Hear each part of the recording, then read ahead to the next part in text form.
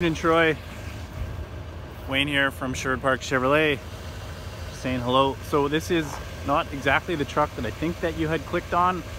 Um, this is an LT trim level truck, so it's one step up uh, from the WT that you picked out.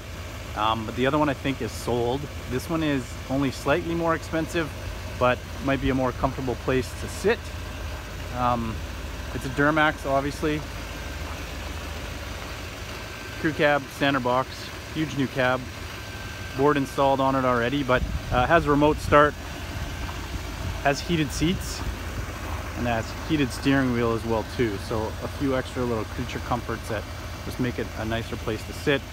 Uh, does have a CarPlay, Android Auto, uh, has the power folding mirrors, nice HD mirrors, an upgraded wheel on it as well too. This one has keyless entry, push button start, huge cab on the inside, very handy step for the box of the truck, is full of snow.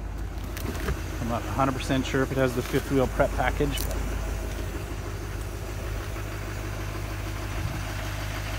Anyways, uh, it's one option that I have in stock and it literally just landed the other day. Give me a call, shoot me a text message uh, when you got time. You can reach me at 780-292-0534. And uh, I'm looking forward to speaking with you. Hope you're having a great night.